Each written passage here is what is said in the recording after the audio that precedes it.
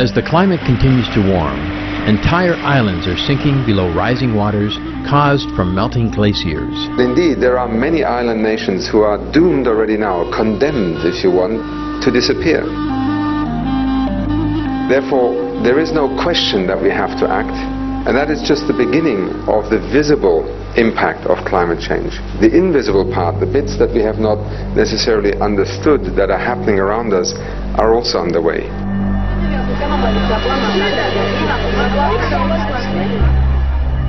We have uh, whole communities having to be relocated. Villages which have been there over the decades, maybe the century. And uh, now they have to be relocated, and where they have been living over the last few decades is no longer there, it's being eroded. There are at least 18 islands submerged around the world. Lohachara, India, 10,000 residents affected. Bedford, Kavaskadi, Suparabanga Islands near India, 6,000 families affected.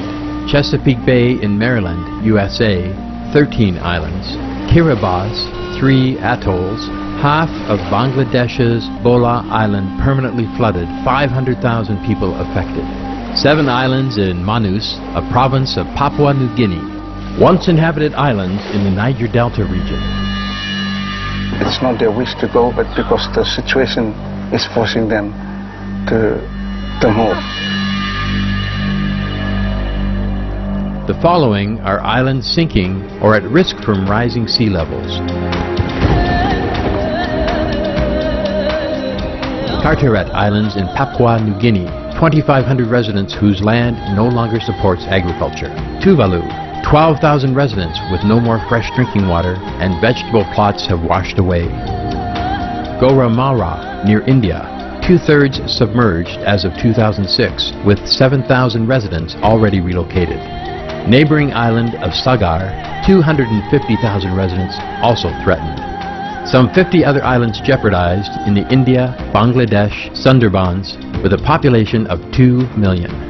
Kutubdia in southeastern Bangladesh lost over 200,000 residents, with remaining 150,000 likely soon to depart.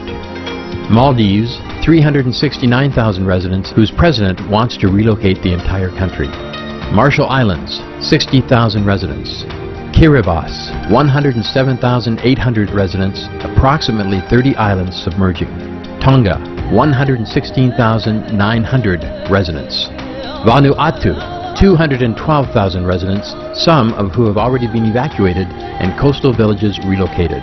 Solomon Islands, 566,800 residents. Shishmaref in Alaska, USA, 600 residents. Kivalini in Alaska, USA, 400 residents. Over 2,000 other islands in Indonesia. Dubai, 1.2 million residents in the United Arab Emirates considered at risk. Cook Islands, 19,500 residents.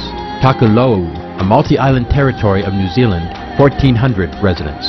Federated States of Micronesia, 108,000 residents. Manus, an island group of Papua New Guinea, 50,000 residents. Paku, autonomous region of Papua New Guinea, 600 residents. There may be more islands, either uninhabited and or not reported, that are submerged or are sinking due to climate change. We may be at the point of, of no return. Our small low-lying islands will be submerged. It's an issue of human survival. If the world community, the different countries don't kick the carbon habit, there will be other countries next on the line.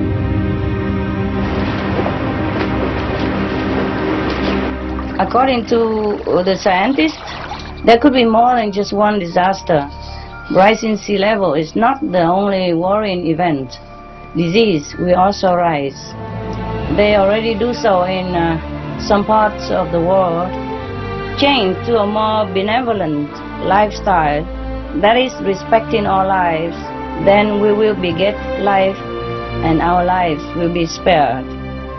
And nature will restore the balance and repair all damages. I wish to see that day soon in my lifetime. The more vegetarian people join the circle, the more chance we have to save the planet.